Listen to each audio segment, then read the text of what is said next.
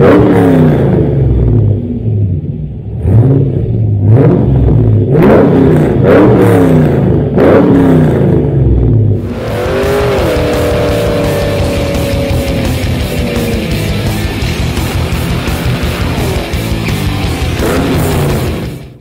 guys, welcome back to the channel. So today we're going to do a little fine tuning on my 2002 Camaro SS.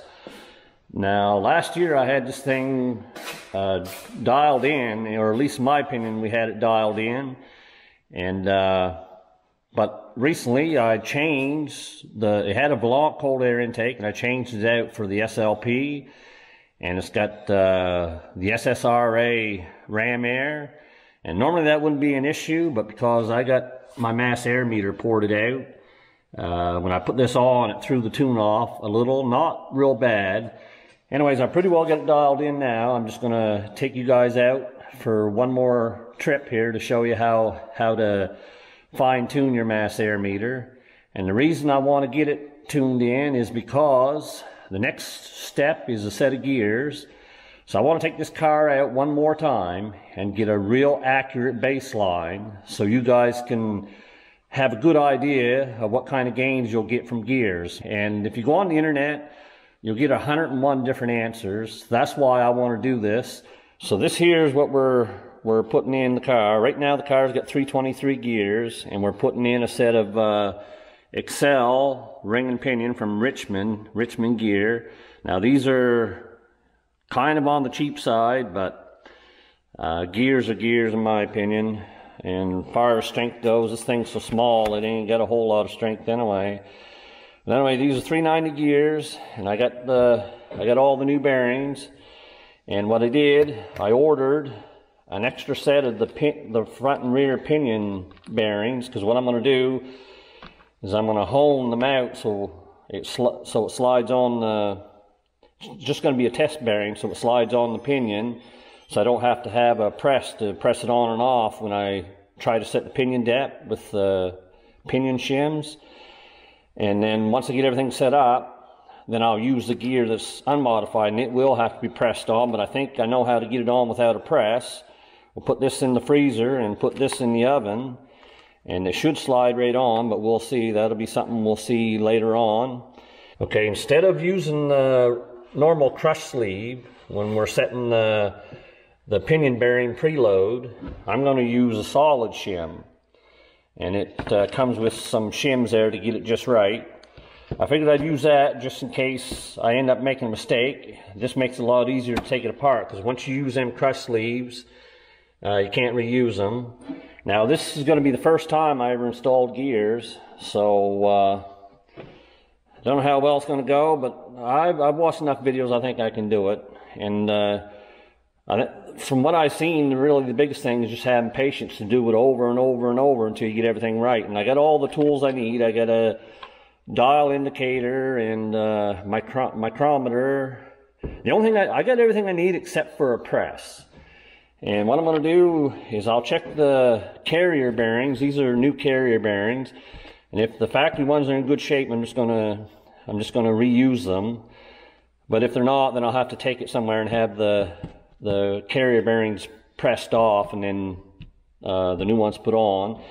And as far as using a pinion like a test bearing, one thing you have to do is you have to get the exact same bearing, uh, make, the same make and model and everything. Because if you if you use a test bearing, you set it up, and it's a different uh, make, it could be off just a tiny bit, and apparently you, it just throws off all your all your uh, measurements.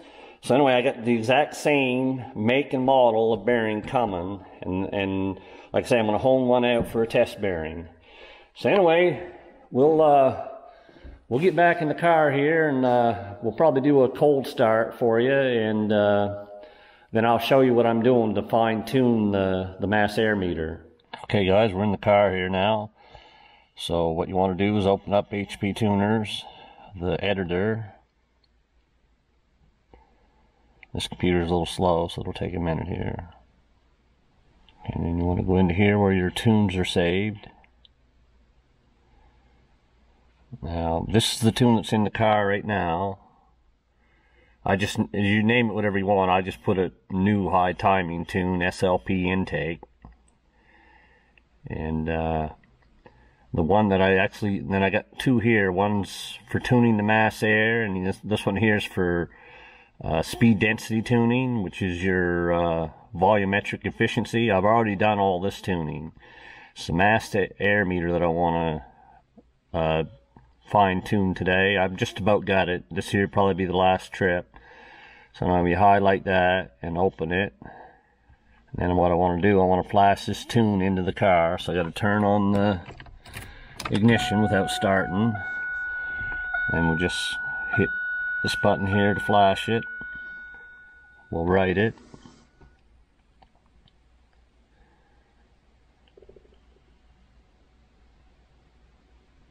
Doesn't take that long to flash a tune in one of these cars.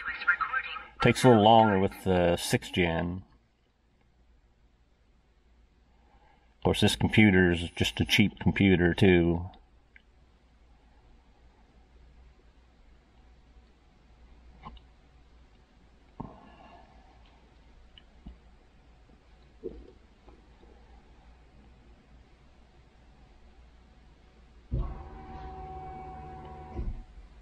Okay, so it's all completed. I'll just hit close. I'll close out the editor and then I want to go to the scanner. We'll start up the scanner. AFR error is the one that we're going to, we're interested in. And now I'm not going to go into detail how to set this up because if I try to explain it, I just get you guys more confused. I'll uh, we'll put up here, I'll just put up in the screen there the, the couple videos from Goat Rope Garage. That's the one you want to go to if you want to learn how to tune uh, like uh, LS1 Camaro. Uh, he's got lots of videos. He's a way better teacher than I am. He's got way more experience. The whole point, the actual point of this video was just to show that if an idiot like me can can tune their car, then chances are good that you probably can too. And uh, this tuning yourself is really for people like me and the stuntman. We're on a budget, so we only do maybe one or two or three modifications per year.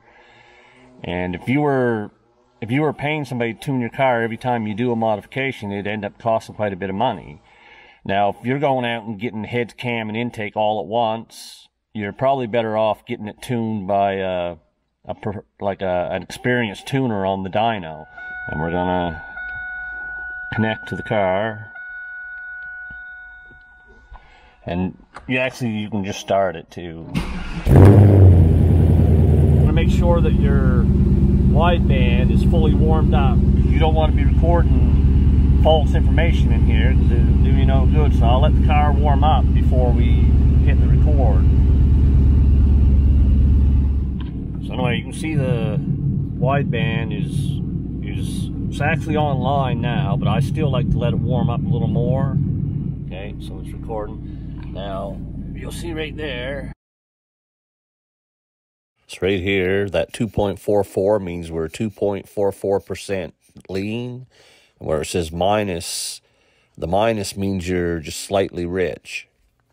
But anyway, I've got this almost dialed in now. Can't really get much better than like between two and three percent. Because once you get down in that area, then you're pretty much good. So this, those numbers right there, pretty tells me I'm pretty much good to go right now. But we're gonna, um, this is gonna be the final trip out because I've already done probably, I've probably driven this car a couple hours doing this, so I've got it almost tuned in now. Anyway, guys, we're out on the road now. I'm not going to be going wide open throttle. I've already done all that uh, tuning already. This here just the final tune. We're, we're, we're, just a budget channel, as you guys probably already figured out. But uh, tuning yourself can definitely save you some money. Now, if you're building a 1,000 horsepower engine and you don't have any experience tuning, you definitely want to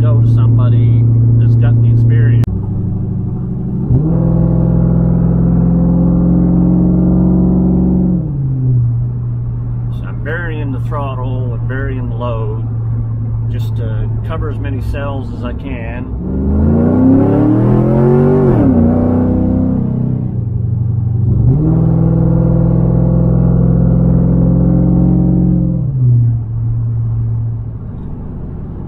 I'll just give her a little bit of throttle here.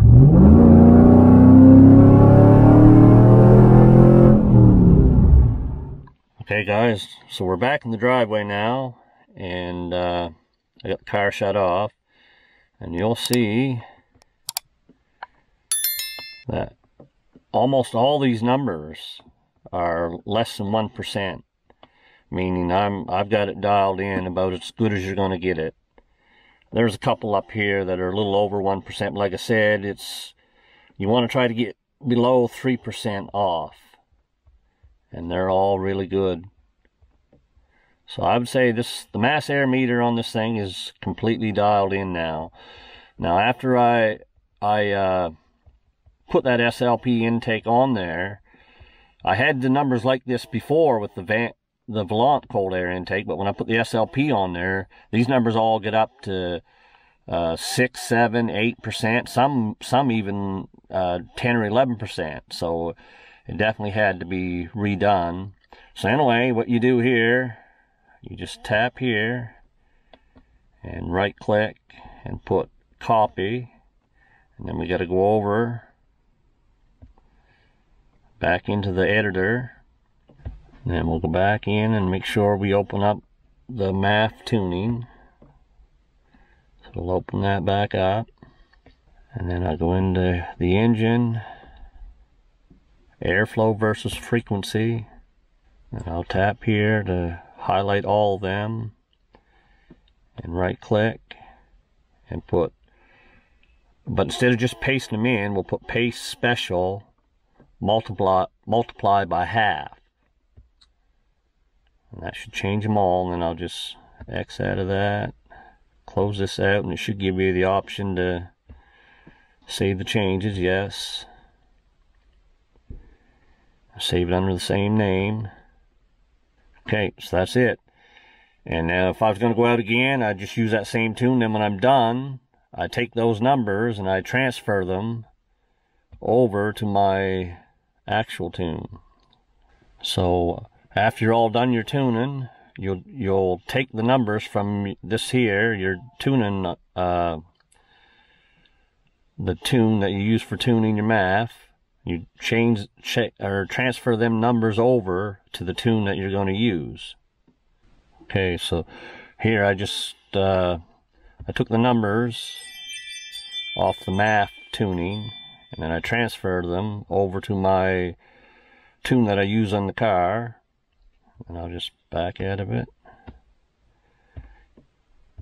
And when I quit it'll tell me do you want to save changes? Yes New high timing tune. Yes.